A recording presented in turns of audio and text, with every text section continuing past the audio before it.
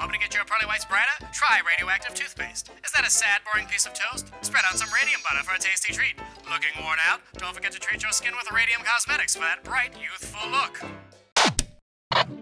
Considering what we now know about the dangers of radiation, these products seem preposterous. But they were real. In the early 20th century, the harmful effects of radiation exposure weren't fully known until a group of women in New Jersey paid a fatal price for us to find out. So, what is radium anyway? Well, radium is a chemical element that was discovered by Marie and Pierre Curie in 1898. It's found in uranium ore and is formed when uranium and thorium break down. It's highly radioactive, which means it gives off energy. And that radioactivity is actually useful in treating cancers, which is exactly what radium was used for after its isolation. In addition to all that, it also gives off a pretty cool faint blue glow.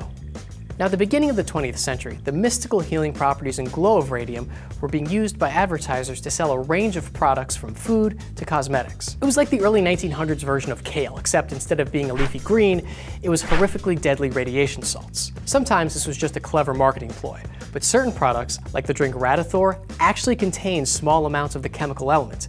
The elixir was famously used by celebrity golf champion Eben Byers, who later died from radiation poisoning.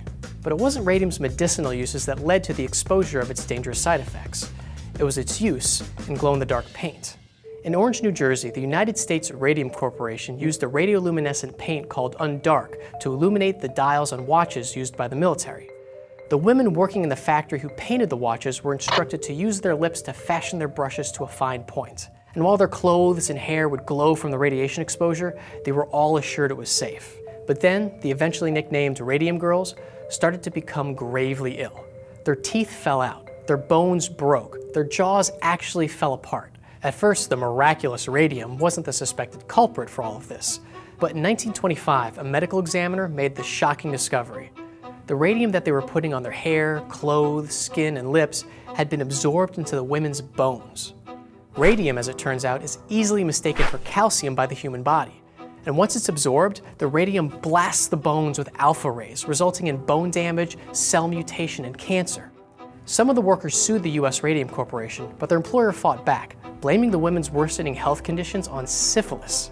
The women settled their case out of court, receiving a lifetime annuity and medical benefits. But within a decade, they'd all died. The Radium Girls story continued after their court case. The ruling set the precedent that workers could sue employers based on damages for on-the-job abuse, and their story led to further investigation into the adverse effects of radiation.